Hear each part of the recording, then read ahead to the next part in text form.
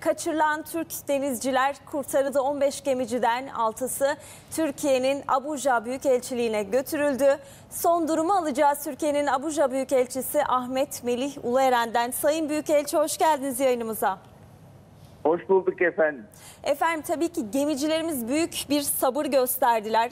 Bir e, güç gösterdiler orada e, kurtarılmayı beklerken. Sizler de Türk hükümeti de özverili bir çalışma yürüttünüz. E, şu anda durum son durum nedir? Bir detayları sizden alalım. Ee, üç haftadır büyük üzüntü içindeydik. Ee, bakanlığımız, MİT teşkilatımız e, titiz bir çalışma e, gösterdiler. E, üç haftalık üzüntünün sona ermesinin sevinci içindeyiz. Sağlıkları iyi. E, şu anda Büyükelçiliğimizdeler dediğiniz gibi altısı. E, bir araya geleceğiz 15'i ile de birlikte. E, ilk fırsatta da, ilk imkanda da Türkiye'mize göndermeye çab- çaba sarf ediyoruz. Efendim tabii bu süreçte aileleri de merakla beklediler onları. Herhalde şu anda aileleriyle bir temasları olmuştur, konuşmuşlardır diye Oldu düşünüyoruz. evet telefonla görüştüler doğru. Evet. Peki şimdi yani tahminen ne zaman acaba tam olarak Türkiye'de oldular? Şu an tam olarak e, nasıl bir süreç yürütülüyor orada? Çabalıyoruz. Bunların bir takım işlemleri var. Bürokratik kırtasiye e, işlemler var. E, onları e, mümkün olduğunca yetiştirmeye çalışıyoruz.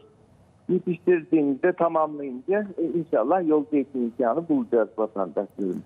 Efendim tabii inşallah bu tarz durumları e, yaşamayız. Bölge sıkıntılı İnşallah. denizcilerimiz de sürekli oraya gittikleri Özellikle zaman. bu olay evet, çok kötüydü. Çok ağır e, e, hasar vardı. Vefat oldu. Bu vefat olduğuna Evet. ben ilk defa şahit Azerbaycan oluyorum. vatandaşı evet. Evet maalesef. Ama bizim gemicilerimizin şu an sağlık durumları iyi. Hepsinin gayet iyi. Aileleriyle konuşmak neşelendirdi de onları. Dolayısıyla eee, şu anda mutluyuz. Onlarla birlikte olmaktan vatandaşlarımızla. Akşam da birlikte olacağız. Eee inşallah ilk fırsatta Türkiye'ye göndereceğiz. Peki çok teşekkür ederiz efendim. Ahmet Melih Ulu Eren Türkiye'nin Abuja Büyükelçisi kurtarılan gemicilerle ilgili son durumu aktardı. Ee, sağlık durumları iyi, aileleriyle temas halindeler ve en kısa sürede Türkiye'ye dönecekler. Ee, biz de bu süreci bekliyor olacağız. Devam edelim efendim.